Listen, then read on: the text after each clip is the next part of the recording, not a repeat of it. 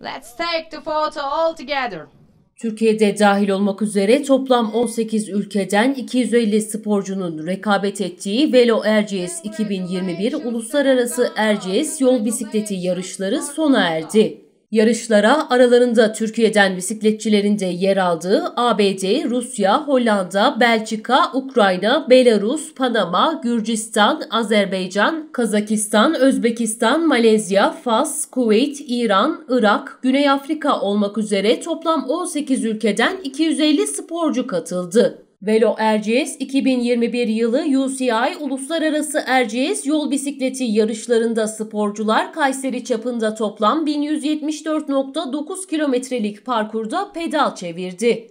Yarışçılar yarış zarfında Kayseri'nin şehir merkezi ve ilçelerinde tarihi ve doğal güzelliklerle önemli mekanları görme fırsatı yakaladı. Yarışlar Kayseri Büyükşehir Belediyesi, Kayseri Ulaşım AŞ, Spor AŞ, Erciyes AŞ, Velo Erciyes ve Orta Anadolu Kalkınma Ajansı tarafından organize edildi.